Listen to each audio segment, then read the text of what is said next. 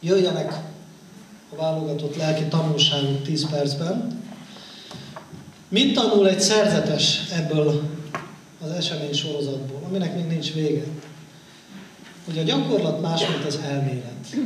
Ja, én itt tudok nagyon lebegbe okoskodó előadásokat tartani itt és máshol. Ez a karma, az a karma. És más egy fél évig nyomni az ágyat. És úgy éli meg az ember a saját filozófiáját. Szóval ezek a fázisok az ember életében próbatételek, vagy népszerű kifejezéssel tesztek, arra mindenképpen egy jó lehetőséget biztosítanak, hogy az ember megérti, egy tükröt kap, hogy mennyire képes élni a saját filozófiáját, a saját felfogását. Én a saját tükröm előtt nem szerepeltem túl jól, kell, hogy mondjam, de ugyanakkor egy, egy lehetőség volt erre. Ugye ez olyan, mint egy ilyen gyakorlati vizsga. Tudjátok, hogy mennyire más, amikor az ember a kreszt a könyvből tanulja, meg a másik, amikor az oktató mellett ül és ordít. Mit, hogy csinál, és annyi felé kell figyelned. Szóval ez egy ilyen gyakorlati próba volt a számomra is. Az egyik, hogy hogy azonosítom magam. Ugye nagyon könnyű, elegáns és emelkedett azt mondani, én nem a test vagyok, hanem egy örök lélek. És nagyon más, amikor fáj a csípőd meg a térded, és nem tudsz menni sehová, hogy akkor most én tényleg tudom függetleníteni ettől magam, vagy legalább valamelyes, hogy kezeli az ember a kettőségeket, az ősi bölcsességek, a védák is ezt tanítják, az ember legyen kiegyensúlyozott. Az anyagi világnak ez a természete.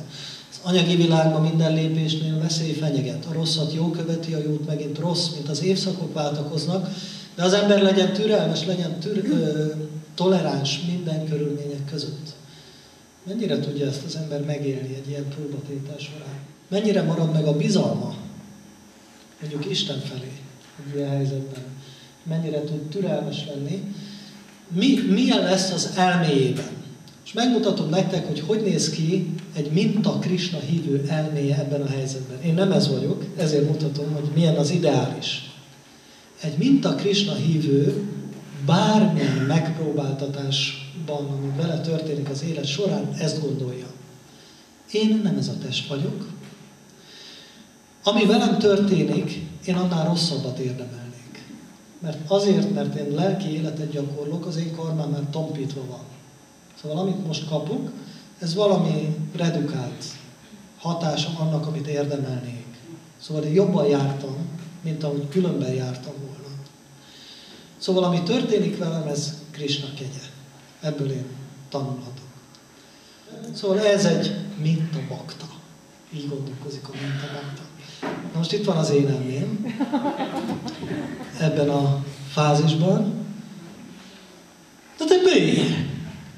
Ugye?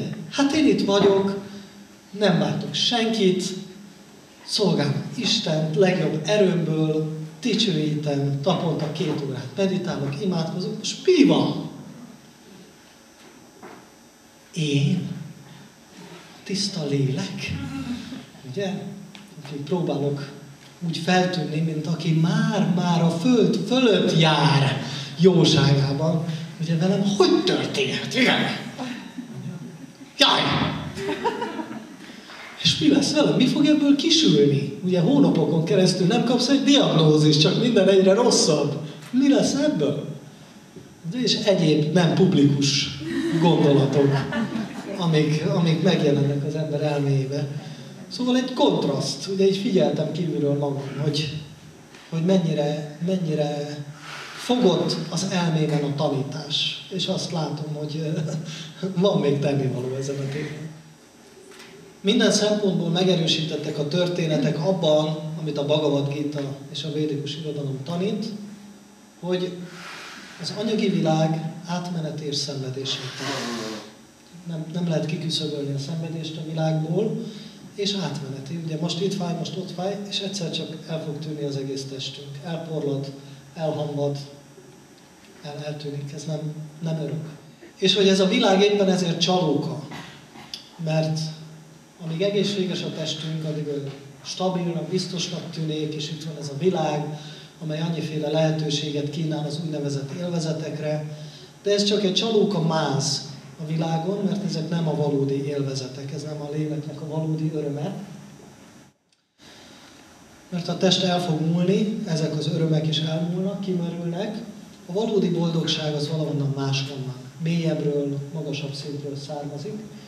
És végső soron pedig van egy magasabb rendű világ, ami mentes ennek a világnak az árnyoldalairól, ahonnan valamikor eljöttünk ide, és ahova a lélek törekedhet visszatérni. Engem megerősített ebbe a törekvésemben. Képzeljétek el, ha 20 évvel ezelőtt azért lettem szerzetes, mert ki voltam ábrándulva az anyagi világban.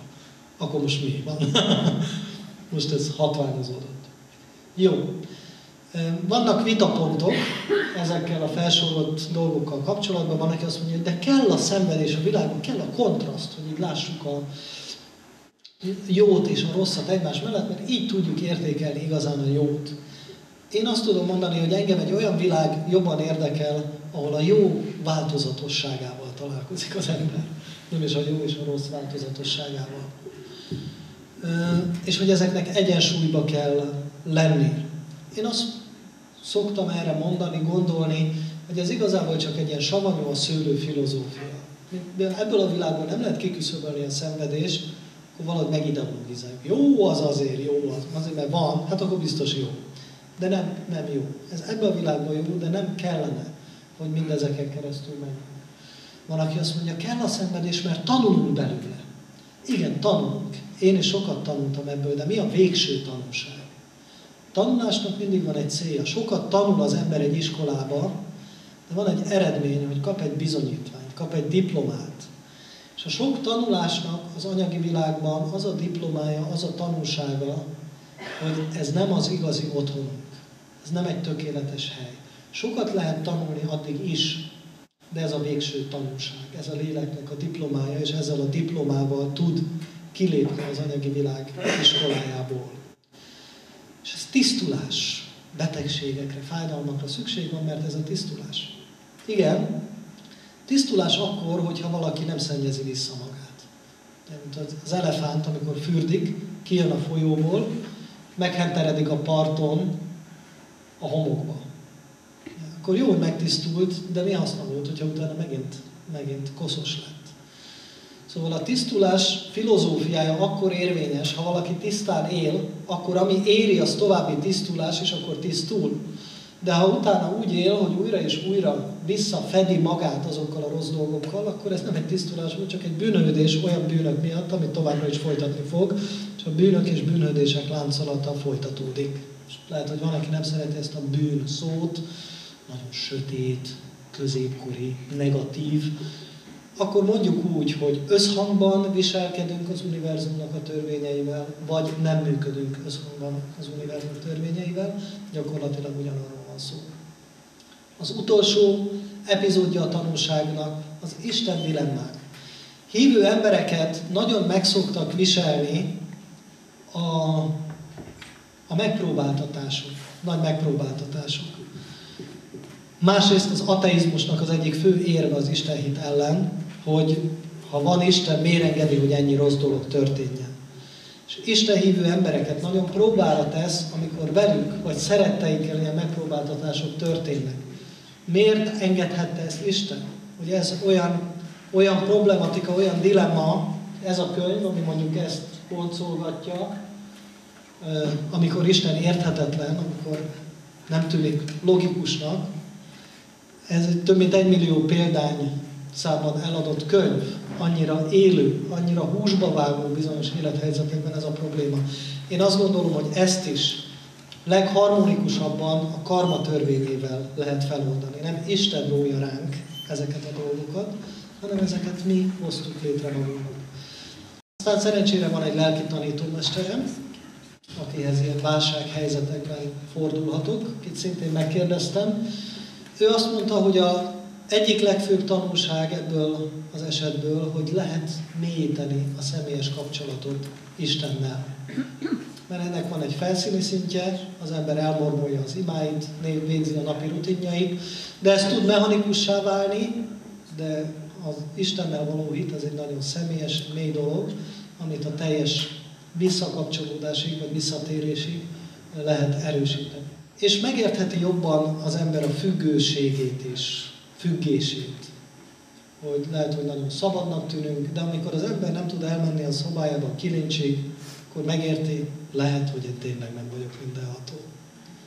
Lehet, hogy valaki más az, aki kontrollálja, irányítja a világot. És a másik, ami egy nagy lelki tanulság, hogy ezek a nehézségek éppen a megpróbáltatás jellege miatt, miatt, hogy elmélyítik az emberben azokat a tanításokat, amiket hall, ezért lehetnek áldások is. Engedjétek meg, hogy egy ilyen áldásadó mudrával fejezem az előadásomat. Ezzel nektek szeretnék áldást kínálni. Egyrészt szeretnék jó egészséget kívánni mindenkinek, másrészt pedig sikeres lelki fejlődést. Köszönöm szépen a figyelmet!